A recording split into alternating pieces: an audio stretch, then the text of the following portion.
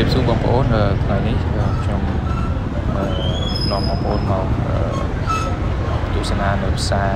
បឹងផលិតនៅពេលព្រឹកនិងបង្ហាញអំពីអឺទេសភាពផ្សេងផ្សេងអឺពេលនេះផងដែរបាទអញ្ចឹងចង់នឹងថាបងប្អូនតាមតាមជាមួយខ្ញុំទាំងអស់គ្នាបាទ